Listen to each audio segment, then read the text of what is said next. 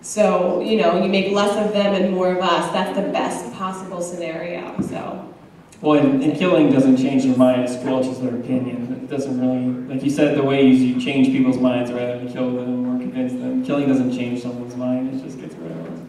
You know what I mean? It Maybe makes another one of them too. it nullifies, it's uh, person nullification. Double, it That would doubles be them. double speed. It So yeah, complaints about New Hampshire. no, not, I- well, yeah, complaints about New Hampshire, and it doesn't have to be about activism. Like, Yeah. when- Once you hear mine, you're just I- gonna be like, that's stupid. I was just gonna admit about like the, the restaurant scene in Manchester, you know, from Los Angeles area, so Get out of my brain. like, uh, there's a nine, like, three things, three things. There's, there's a nine percent meal tax, which just shouldn't exist. Yeah, um, the bars close too early. Boo. Right, uh, what's the hashtag, YOLO swag blaze it? Um, Oh my god! and 420 yellow And nobody will accept my Dogecoins. Now, I, now that I've said those three things, um, agorism has solved all of those problems. So I, I really don't have anything to complain about. Well, there's nothing really surprising to complain about. I mean, nothing's perfect, and obviously coming in just knowing that thing. The funny thing that happens when you take a bunch of activists, people, and activists aren't just an occupation, they're kind of in the blood. There's people who are just very strongly opinionated, have no fear, and are just used to just shouting their opinions in people's faces, even peacefully, right? But still just a very cantankerous, excited group that's used to just not letting things slide, just going full force into it. Sometimes that's ended up being like a dog chasing its own tail, and it's ended up sort of turning on a lot of the good activism in the community. Every once in a while, for example, you have people who are trying to work within the system, and then you'll have, you know, again, their friends turning against them and saying, "Oh, you're voting as violence, man. You just, oh, you just suck and this and that," or you know, "I don't like your style of stuff. You aren't welcome in our town, little social club, whatever." Just a little bit of tone it down, guys. A little bit. Just you know, go fight. Go fight for liberty. Don't don't argue so much. That's the only thing I would say. Uh, mine's the pizza. The pizza I'm sucks. sorry. There's no good pizza. uh, and, you know, I come from Philly, and that pizza is the shit. Excuse my language. But that pizza's amazing, and it's wonderful, and I come here and I eat a piece of pizza, and I'm like, what is this thing? Uh, so, I mean, that maybe that would be a pretty good agri. I used to make pizza. Maybe I'll start a pizza business when I move back here. Make the best pizzas that ever did live. Will you accept Dogecoin? I will accept. Yeah, I'll accept Dogecoin. Will you accept? Uh, but yeah, I mean, other than that, with- when it comes to act, to the activism, nothing at all disappointed me. I, I really didn't come into this with any expectations. I've lived in a lot of different communities, and, and I know that a lot of people can be different. Uh, so I kind of just came into it thinking, can't wait to find out how this is. So that's about it for me. Uh, now, what is your favorite thing about New Hampshire? Now, let's not even talk about activism, nothing, not the people, just the state. For all of the people who will see this, explain to people what is the most wonderful thing about living in New Hampshire. The pizza. Touche. Uh, this has taken me a while, and it's probably a little different depending on where you live, but I really do like my local community of mostly status. Um, but the thing is, is you know, th- these are these stereotypical uh, New England types, who most of which moved here from someone else, but they've all adopted the same persona. Um, but are, are absolutely accepting and willing to welcome you in and willing to hear new ideas. You know, when I when I hear someone in, in our selectmen's meeting, one of the selectmen say, you know, maybe we don't need to regulate that. I'm like sitting there going, what a win. What a win. That, that's great. So yeah, I, I've really, really fallen in love with the people and that surprised me. I, I thought I would be ostracized. More so. Cool. Um, I'll go personal. Uh, one thing I really like is going on walks in the woods. It's like a like a spiritual, natural thing that's a lot of fun to do, and I think this great this place is great for that. There's so many trails. I I've been here since mid July, and I, I thought I'd hit almost everything in town, but I was totally wrong. There's way more. This is the first fall that I've ever seen, ever. Like the trees, what's happening to the trees? They're broken. it's insane. It's mind blowing, and pictures can't even capture it. Well, I would sort of touch on points one and three. Uh, the real thing, is, we have work to do here. We don't have that much work to do because the locals, the community, is just they're great people and they're just they're. It's just everything we're trying to accomplish is so much easier than anywhere else, just because people seem to be much more receptive to that kind of stuff. It just, you know, it's almost like coming home to a lot of people. Uh, other than that, I would definitely say, if we can leave activism completely out of it, I would just say the fall, but not just the fall, like the winter, the spring, the summer. I personally have no beef with any of the seasons here. I think it's awesome. I think that, like, I've been through all of them. I've driven around the state for work all over the place. There's like nothing gross in New Hampshire. It's like, it's all pretty, it's all cool, it's all nice. And like, I mean, I came, I moved out from Satan's Butthole, I mean, Arizona. And so there was some parts of it that just, you know, there's like three nice things and the rest is just nasty. And here it's like everything's nice, this little town, and this is quaint and adorable, quaint and adorable, beautiful fall, beautiful snow, beautiful everything. Oh, the beach is nice, it's this and that. I mean, there's like maybe a neighborhood in Nashville or something, but other than that, it's pretty much good. Okay, uh, I will say that it is the people, the laid-back nature, the acceptance of, of all people. Uh, the restaurant that I uh, started working in uh, in Tamworth, uh, you know, it was I think my first day back from PorcFest. Uh, had it was on my birthday actually. I got the job, July first. So it was my um, my first day back from PorcFest because I had uh, a little in between PorcFest and that. In any case, uh, I went in, got a job immediately. Uh, sat down and spoke with the manager for an hour and a half, two hours. She asked me tons of questions. Um, I always brace myself when, when people ask what I do. Uh, and I, because I'm not going to not say it.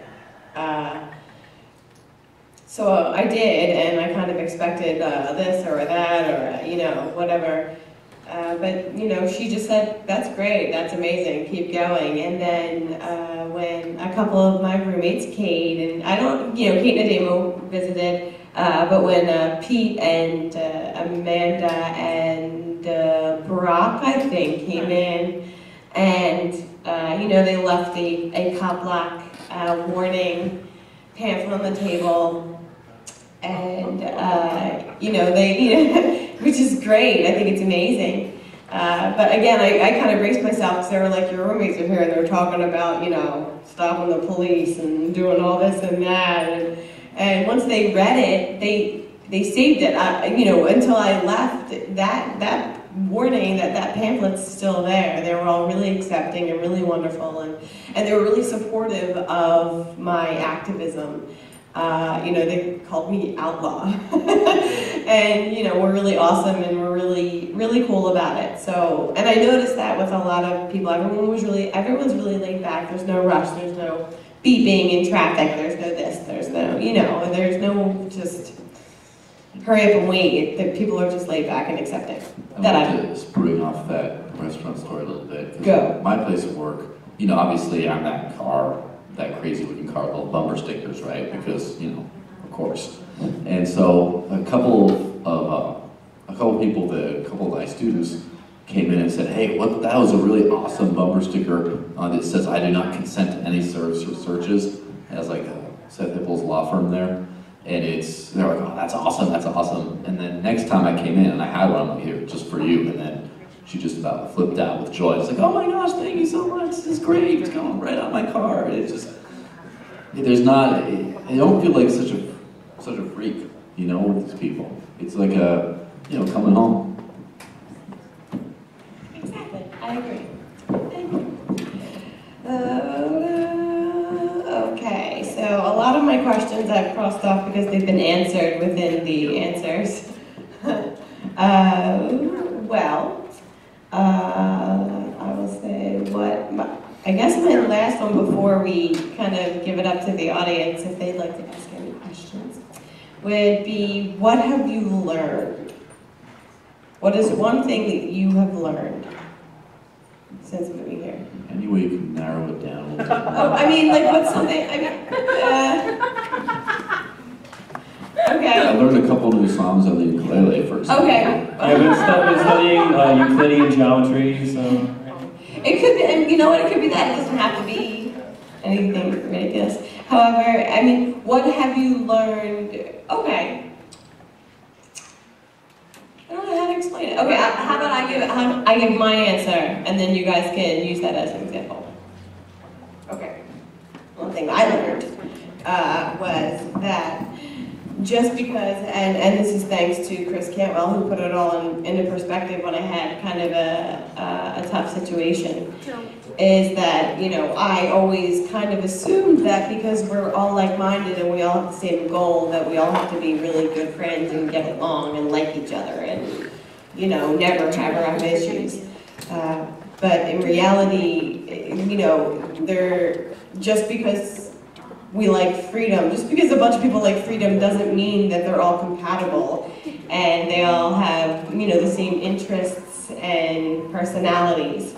So I kind of uh, learned to accept that because, you know, after, uh, you know, being in a situation where I was not compatible with uh, another activist, anarchist, whatever you, you want to call it, but uh, it was that was a very cathartic moment because it, it made me realize that freedom means, you know, it, also means letting people to be free to be who they are and being confident in who you are and, and how you feel and, and in your own activism and your own all that. Well, thank you for that example, that helps. Uh,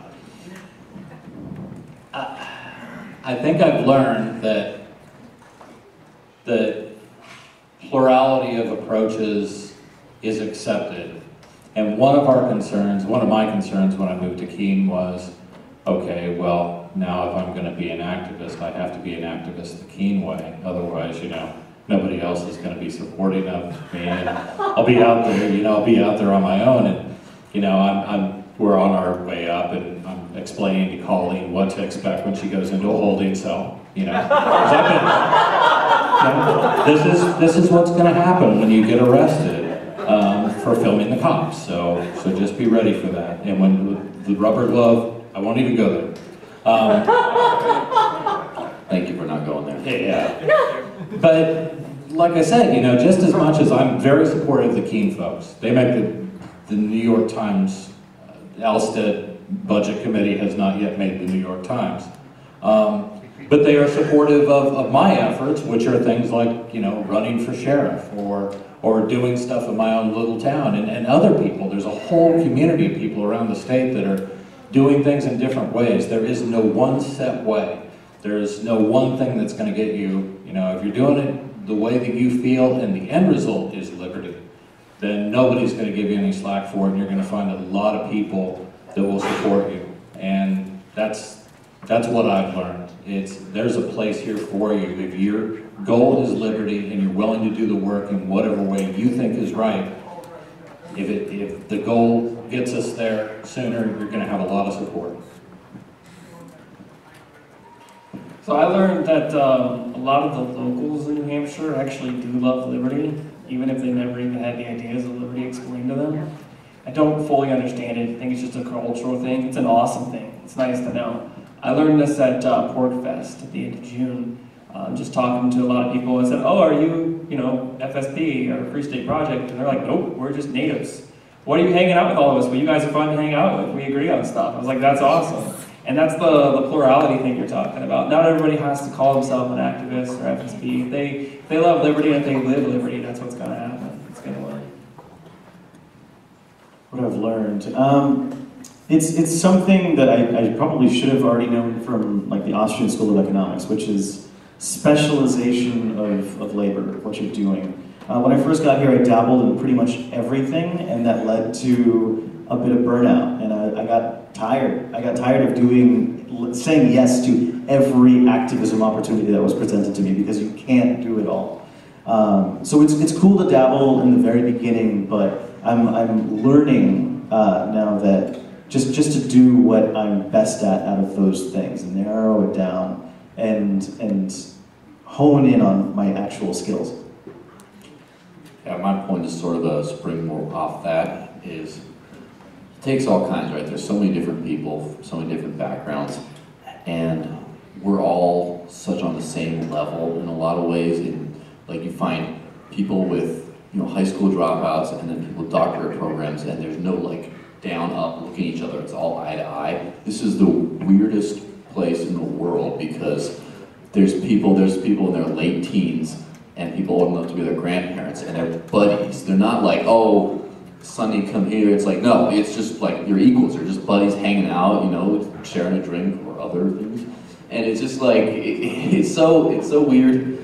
But one thing we forget is there's a treasure trove, there's a gold mine talent and achievement that people are just really quiet about. There's just a lot of people who've done incredible things, had crazy lives, have so much to offer, so much talent and potential and you just got to go out and find these people and work with them in your, again, your uh, division of labor specialty, right? You find funny people, right? Musicians, like, how many musicians I've run into, they're just like, oh, you know, yeah, I do this, I have my own this, I'm so good at that, and I just never do it. It's like, why don't we all collaborate? And these collaborative institutions and groups aren't there.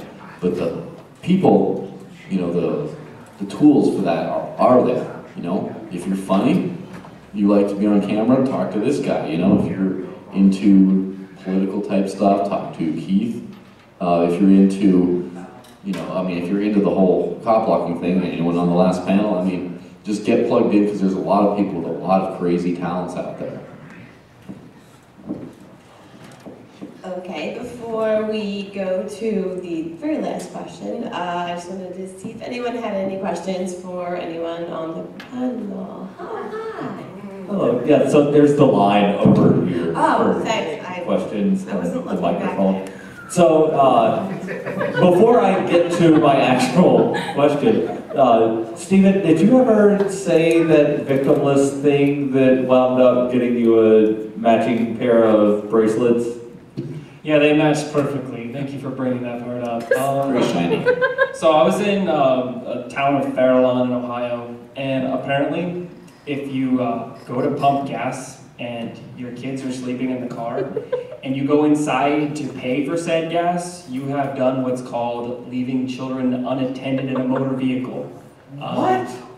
Yeah, that's what they call that. So don't do that if you're in that town. Every other town around there has never heard of that. They don't even have a court system to enforce it, so they take you to the, a different town where I live that doesn't have that law. So that was not fun at all. Um, they didn't think, I mean, they, they're like, you're endangering. I'm like, I leave my kids alone eight hours every day. It's called sleeping. I do. The- the- the five minutes of me not being in the car with you, yeah, you're okay. You're a terrible parent. Awful, right? Bad. So, No, one- no one tells Stefan Molyneux. oh man. Okay, so the actual question uh, for all five of you, I, I've actually been to move-in parties for two of the five. So if the other three of you ever had a move-in party, could you explain for people that haven't moved yet the joyousness of a move-in party? And Chris, I know that you can explain how quickly porcupines can unload a, what was that, like a 200 foot trailer and a 90 foot uh, U-Haul truck? It was a super tanker. Uh, we actually had to get a whole tugboats to pull it up. It was that big. No, it, was very quick. And, and again, what amazes me is, you know, you just put out on, you know, the Free State uh, Movers Facebook page, you know, you put a pretty picture of your house or something like that, say move-in party. If you mention the words pizza and beer, this helps. Um, your, your only goal is to keep them hydrated and to stay out of their frickin' way because they will mow you over. It's good to have somebody directing things off the truck. Good to have somebody in the house to make sure things go where they need. But other than that, you just want to get out of their way because it, it's it's a force of nature. That's that's all I can say. It was that fast. I, I concur. Um, and when I moved here, like I said, I boxed my things up in U-Haul pods and shipped them. Um, my things were here before I was. It's kind of perspective there. But um, there were three five foot by uh, eight foot by seven foot pods that I filled up. And I was like, cool, these guys are gonna help me unload. All right, cool. So it was like you know, a few days after I got here that, they, that I posted it. Um, so, so we get the pods, and one of them's on backwards. Uh, so you can't get the door open more than like two foot. And Daryl almost got stuck in the pod. but that all aside, I, I went to get the pizza like on the hour when people were gonna, said they were going to be there. And I get back 20 minutes later, and all the pods are already unloaded. So I didn't, I didn't even lift anything. uh, I was kind of spoiled, and Colleen was like, make sure they set up your bed and your washer and dryer. They did all of it. I mean, seriously, it was fast before the pizza was there. So. I didn't even get a moving party, man. Um, Neither did I. I didn't- unloaded my own damn stuff. Yeah, it was like a one-person party, I guess. Um, Party of one. but uh, I don't know. Maybe we'll have to put my stuff in a truck and we'll do a lap around the house and just. Yeah, pizza in there. I'll be there to load stuff for you. We're in. Again next week. I think I pretty much covered. I just uh, unloaded my own. I had a two-door Civic with all my earthly belongings. I didn't really have anything, so I just took them up the couple flights of stairs and just there we go. Uh, pretty much what Joel said. Uh, one of my moves, uh, Cantwell did help me load a bunch of stuff into his car from Tamworth to Keene. Uh, but I, I have, I mean, all of my big furniture is uh, in storage. Uh, and so it's basically clothing. I just had a bunch of clothes packed in those vacuum sealed bags, uh, a record player, a guitar, and just packed it all in and, went. And that was it. So uh, a moving party, if I had one, would consist of three minutes of people put, putting moving items, and then the rest would basically be pizza and drinking and fun. So just so you guys know, if I ever move, you better show up. Hey guys, now freekeene.com, their motto is peaceful evolution. Now for me, when I moved here, I never really, I kind of thought of it as like building a you know free society. Uh, but since moving here, it's more about philosophical, uh, spiritual evolution for myself, where I don't even recognize myself a mirror three months ago, well alone when I first moved. Uh, my question for you guys, living in this community this, uh, of all libertarians and anarchists and whatnot, uh, how has you as a human being changed from when you moved?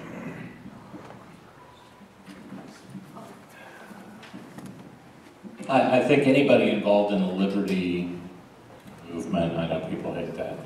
If liberty's on your mind a lot and you think about liberty, maybe that's a better way to put it. Uh, I think we're always evolving and, and, you know, a lot of things that, you know, I, I'm new to this thing, you know, I, I, I woke up late in life, you know, 2012 with Ron Paul, because I couldn't stand anybody else. Um, so my thoughts about anarchism and agorism things like that, some of the more left-leaning aspects of libertarianism, I think I've grown more accepting of. Um, that's that's about all I can say on it. Steve, better answer. Can you repeat the question again? I was in it. I was listening to him. Say it again. Repeat the question again. How have you changed philosophically? Okay. So yeah, um, I was thinking that when I would get here, it would be like the the uh, cattle mover at the head of a train. You know, it's like you got this V and everyone's flying at you, but it's not like that. Um, just meeting other people, even that aren't even. I don't like liberty movement because it makes me think of a toilet flushing. So I don't like that. I don't like that phrasing. But people moving for liberty. I mean, there's there's other people here that are just as cool that you can talk you can talk to. Hey, uh, with big things like you know uh, Scotland secession. What do you guys think of secession? What's Scotland doing? And people are like, oh, that's an awesome idea. What do you think about you know maybe this state doing it? well, maybe we, maybe we should. I don't know. So it's not even like a no, it'll be blood. It's like, well, maybe we'll you know we'll see what happens. So that's a nice thing. And I think that's shifting my expectations, you know, uh, philosophically people. Before I left California, I, I started a Liberty on the Rocks chapter mainly to commiserate with uh, Liberty lovers there, the, the few in California. And, oh man, between Thursdays was terrible. Like, I was so stressed out, I had no one to talk to. Uh, I was just on the edge of my seat waiting for that next Liberty jolt. And uh, I've calmed down so much since I moved here. It's every day. It's, yeah, I just be cool. Well, I've kind of been in this generic lifestyle for all my entire adult life, so nothing really dramatic changed. The only thing that when I moved here, the only chain thing that really changed that's made me a lot more entrepreneurial. Before I was like, I want to fight for liberty. Who can hire me? What job can I do? What can I join? And here, it, I already joined the cause, and now it's like, now go forth and do liberty. And I'm like, but how? And it's got it's got me a lot more into the mindset of I got to figure out how to make it happen. I got to build up the institutions. I got to actually go create something, make something beautiful, not just rah rah behind something that's already there. And I- I'd like to amend my answer, Rob, just a little bit, because, uh, because I am new to this whole line of thinking, it's just been over the last couple of years. I honestly thought that the only thing I would encounter would be sort of Rothbardian anarcho-capitalism, and that was what it was, and that's what everybody up here was. Believe me, I've come a long way. You get exposed to a lot of different ideas. Okay, well, uh, I guess my answer is a lot like uh, what I said earlier. Uh, what have I learned? Uh, and that's, you know, I've grown as a human being philosophically uh, in the way that I have learned to accept that number one, I'm wrong and I'm not perfect. uh, number two, I don't have to be friends with everyone or be liked with everyone within this, you know, this community uh, of activists who are working for freedom. Uh, and and it's, you know, there are people that I don't like and there are people that don't like me. And like my father said a long time ago, uh, someone else's opinion of you is none of your business. Which is, you know, that kind of just hits home and it's what I thought of. So basically, if we can all just work together and get past our differences, even though uh, some of us may have, uh, some of us may really butt heads sometimes, uh, but we're, we can still be able to respect each other, work together, uh, just to, to kind of make this, this world unlike it's ever been, a lot better. Uh, you know, this is a, a new age. It's I'm rambling on now. But in any case, that's how I've changed, Rob. Excuse me, I'm gonna have a small person moment. All right, there we go. All right, so, tough question. The Free State Project slogan is liberty in our lifetime. Now, you've moved here, you've made the move, you made that big decision. But what's next is you need to decide what aspect of liberty you want to see in your lifetime and what the most important cause is to you. And so what I want to ask is not only what is the most important cause to you, but what you're going to do to try and achieve that with your time here in New Hampshire.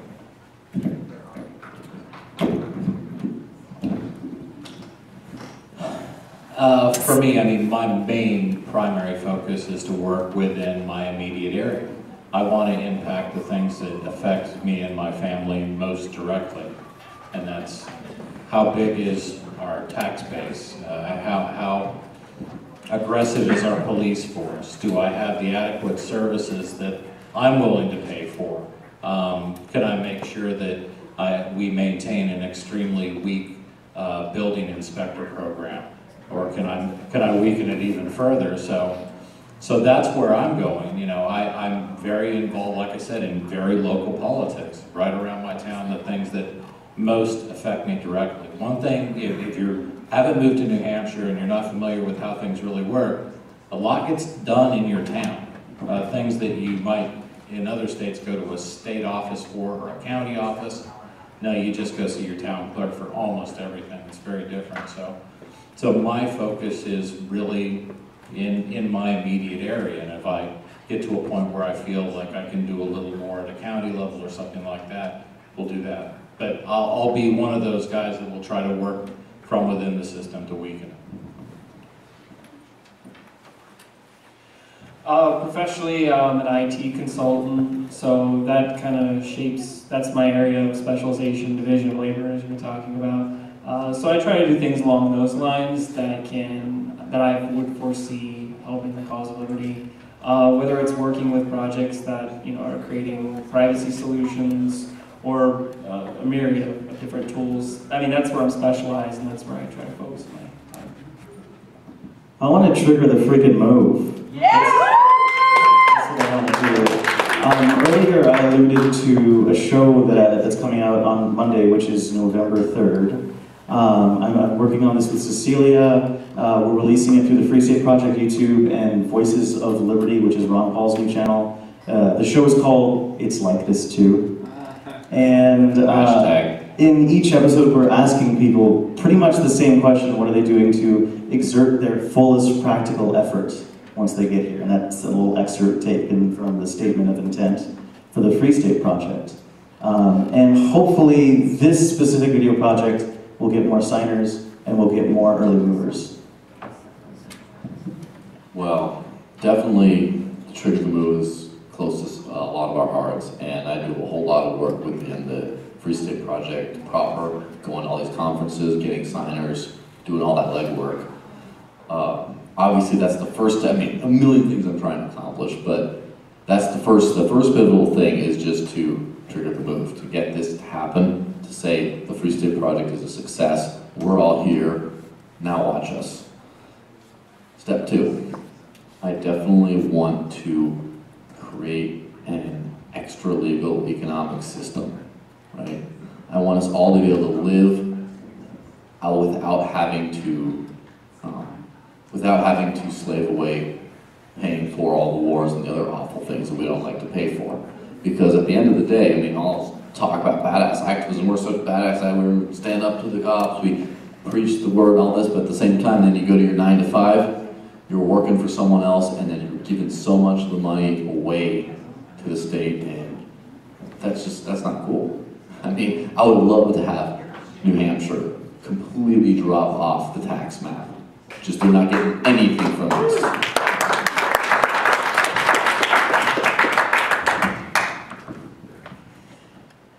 Okay, first of all, that was a really tough question, but an awesome one. I don't know where she went. Right here. There you are. Hi. Hi, I'm short. I'm short, it's okay. Uh, uh, and to answer what, I, I think you asked what we'd like, or, you know, what we'd like to see happen. Uh, what I personally would like to see happen is to see as many statists converted as possible. Uh, I, I don't, I can't put a number on it, uh, just pretty much every, every statist I come across. Uh, but, uh, and what I'm doing to make that happen, or to try to make that happen, is, is to convert people. And there are different ways that I do that, and I adjust my approach based on, you know, how, how close they are to me. You know, with my family, statist, minarchist, whatever you want to call them, so, you know, they were minarchist, some were statist. I just lead by example, I don't push. I just kind of, if it comes up, I say what I believe in, and, you know, they can share the videos, they can hate me, they can do what they want, you know, with, with my opinion, but, uh, you know, it, it's working.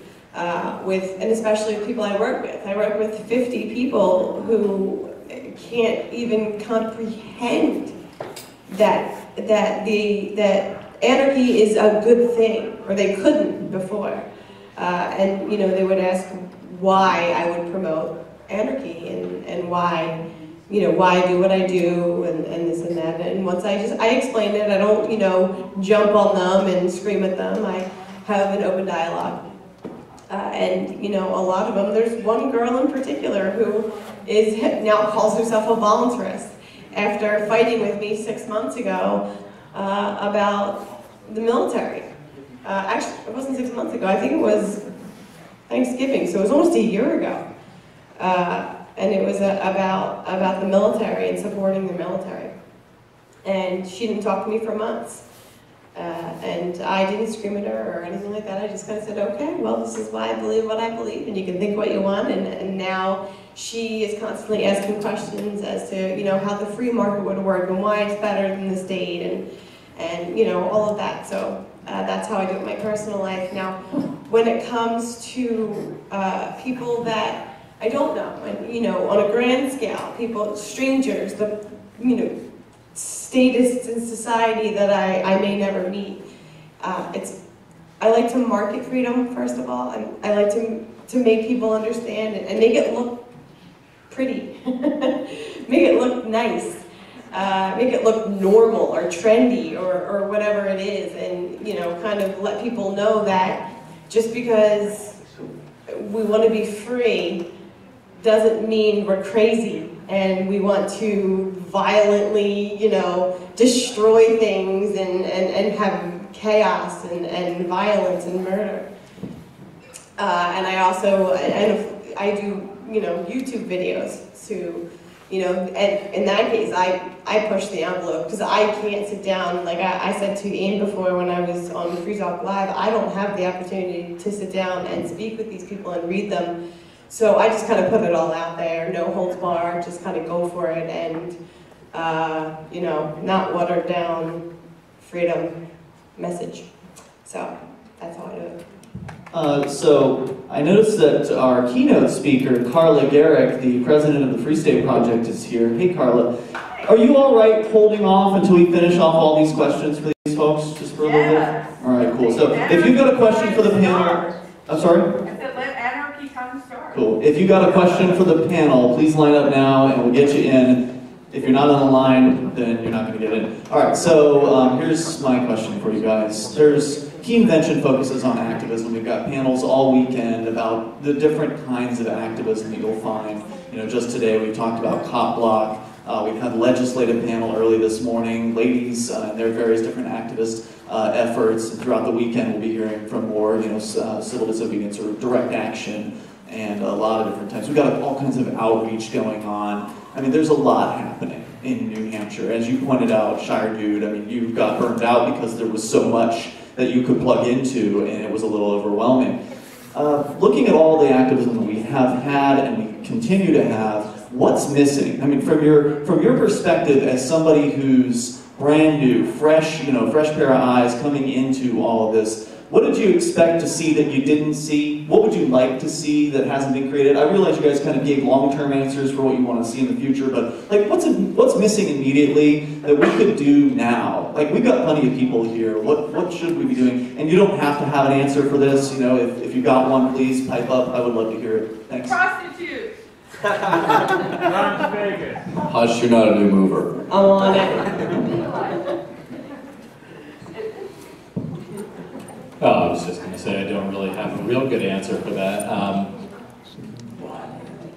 this always opens a can of worms because it has to do with voting, and half the people in this room are going to say never vote, and the other half will be vote for my vote. But uh, I, I really like to see a more concerted effort to uh, change election laws to allow other candidates that don't have a D or an R uh, to be able to get on the, on the ballots.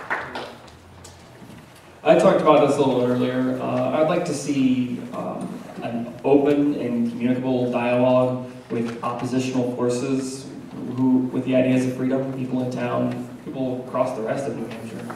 Um, whether it's uh, public public debates uh, where charity, you know, uh, proceeds go to charities. You know, we can raise a fund, raise five thousand dollars, and give it to a charity if somebody will beg us. Um, whether it's you know uh, agorist businesses or agorist uh, providers offering discounts for people that don't like the ideas of liberty if you'll have a five minute talk with them and videotape it. I mean, there's tons of areas. I want I want that debate because I don't I personally dislike the characterization uh, that people that love liberty are antagonist. Uh, you might say it's antagonist to status quo, but that's not really the goal. The goal is freedom, not antagonism. So that area, but that local area, I'd like to see that be resolved. I'd like to see an increase in the volume of Manchester activism and just culture in general. We should be going full Keene in Manchester, like all the time. Where is Manch Venture, right? It's kind of broad spectrum, but it just needs to be louder. But I moved to Manchester not knowing any of the activism that goes on in Manchester, and yeah, it's got to be louder. Is that the parallel to Full Monty, Full King? Full King. Okay. Um, No, it's from, yeah. from another movie. Yeah.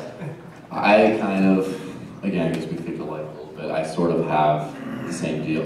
One word, structure. There's tons of stuff happening.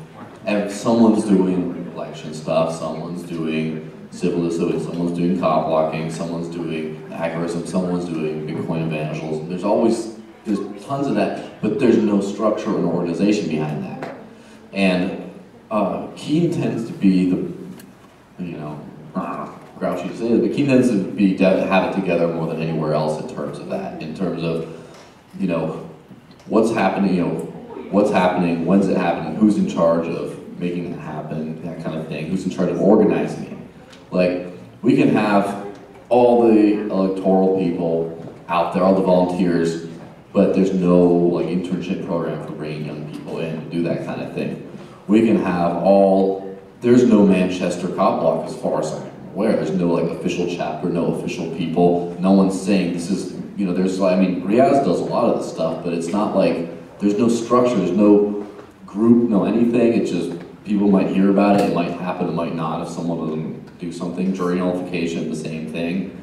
Uh, then you got like the Bitcoin evangelism community. There's plenty of people that are doing it independently, but there's no concerted effort of, okay, we need to